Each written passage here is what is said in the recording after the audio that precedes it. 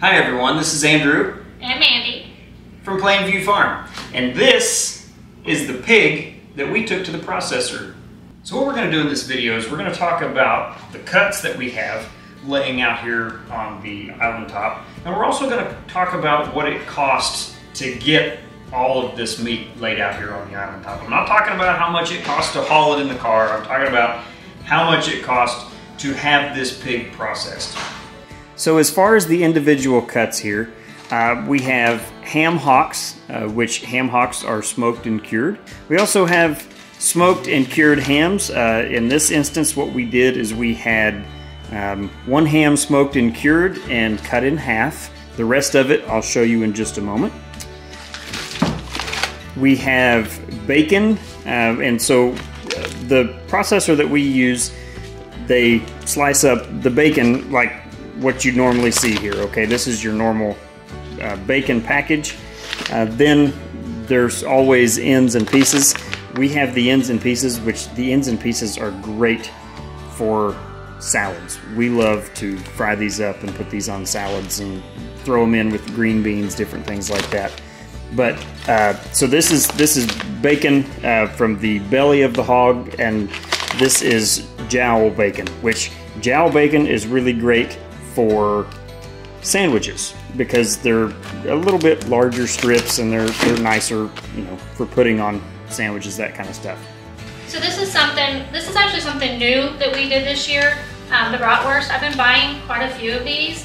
Uh, so Andrew decided to do up some of these. So I haven't really found a lot of recipes. I'm pretty simple when it comes to cooking. We just do bratwurst in the pan with the bun.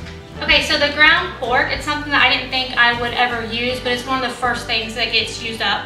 Um, I usually just brown it as in taco seasoning and do it with tacos. When we have tacos, this is what I always want first. And then we have breakfast sausage. Um, I choose it mostly for biscuits and gravy. Uh, my son loves it patty, so sometimes I'll do that. Then we have the pork chops. Andrew's favorite. He got them thicker this time. I just fry these in a cast iron skillet. I don't really even add seasoning, maybe some pepper, I don't know. They're really, really good. We normally have them put in packages of two. These pork chops are one inch thick. A pork chop is my favorite cut of meat in the whole wide world. And you don't have to use a cast iron skillet. We like to. Um, but, well, Mandy really likes cast iron skillets. Um, I actually, I like to use uh, stainless steel skillet that we have. It's actually Saladmaster stuff It's that I really like to use. She likes the cast iron, which I mean, she, you know, does awesome with the cast iron. So I mean, I'm not complaining. I don't want to take over the cooking at all. Um, but uh, you don't have to use cast iron if you don't want to.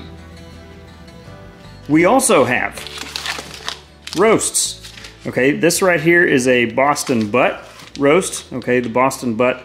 Uh, it comes from the, the shoulder of the pig. Uh, also from the shoulder, we have pork steaks right here, uh, two in a package. These are like 5 eighths of an inch thick. Um, not quite as thick as the pork chops. I like uh, pork steaks, they're, they're good. Um, we have a pork shoulder roast. Um, this is the you know same thing as the, the pork steaks, but we've got a roast there.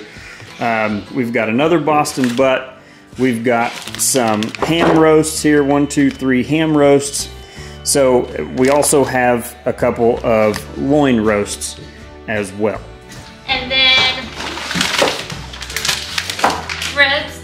I love the ribs. So I'll just, you know, put them on in the oven. We also have back there in that large bag, that is lard, okay, which can be rendered.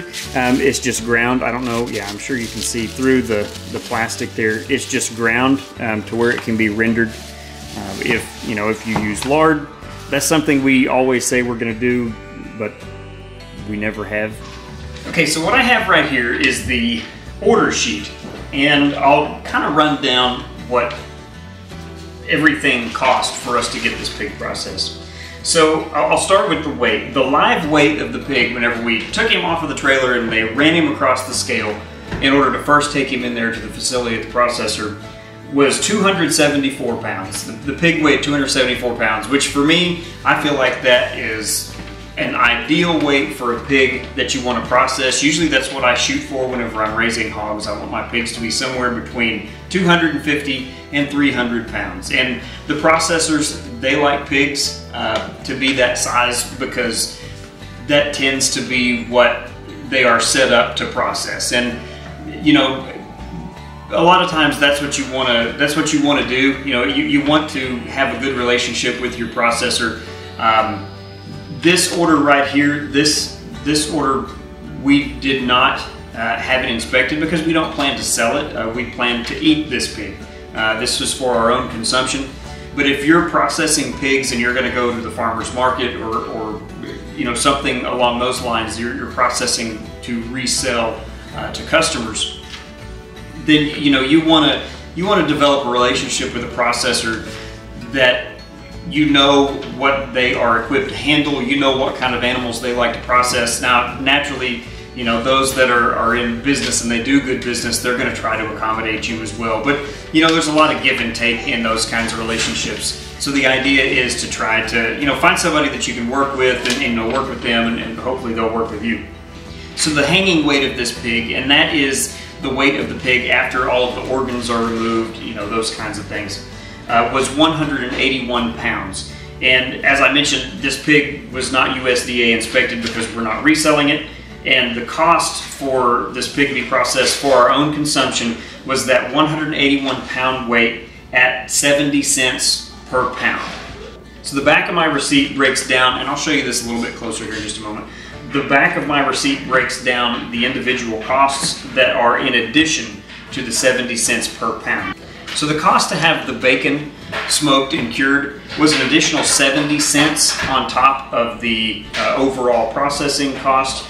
Uh, the bratwurst, it was an additional um, $31.50 total. And, and, again, the bacon was 70 cents per pound. There was uh, 46 pounds uh, at 70 cents a pound. Just so I'm clear. Also, the the hams and the ham hocks, you know, those were an additional 70 cents a pound.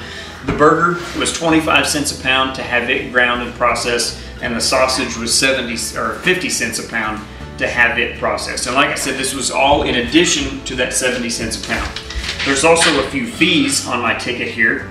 Uh, the slaughter fee is $40, just a flat rate $40 slaughter fee and a $5 disposal fee.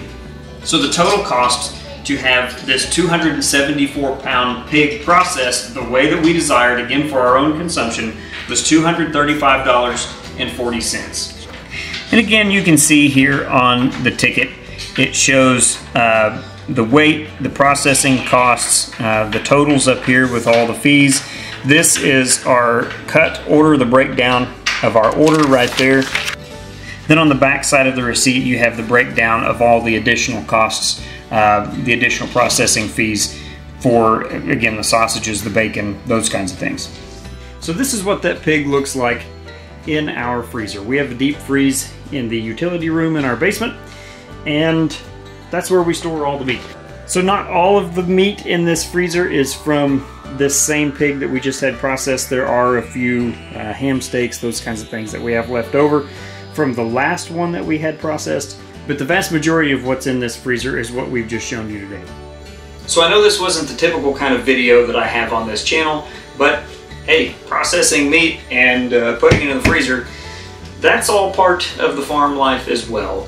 As always, I appreciate you, and if you didn't find this video useful, I hope you at least found it entertaining. We'll see you next time.